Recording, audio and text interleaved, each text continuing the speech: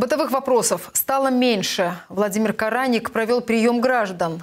Если ранее на встречу с руководителем области записывались минимум 10 человек, сейчас эта цифра стала гораздо меньше. Более того, изменились и вопросы, с которыми люди приходят к представителям местной власти. Раньше актуальными были темы, связанные со службой ЖКХ, медицинского обслуживания и образования. Сейчас на приемах граждан они встречаются все реже.